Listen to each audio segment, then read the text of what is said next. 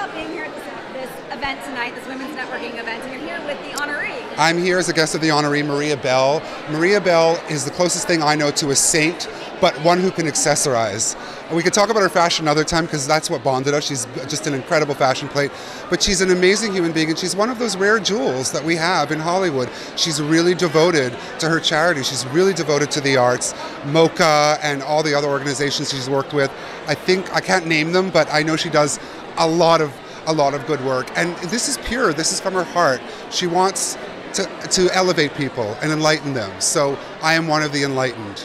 Um, what do you think about this event with women supporting other women and networking? Uh, well, as a part woman, I don't know what I am anymore.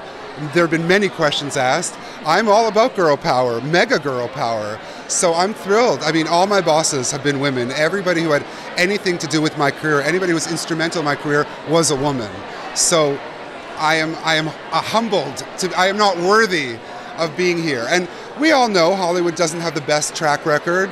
We throw women away when they when they're 46.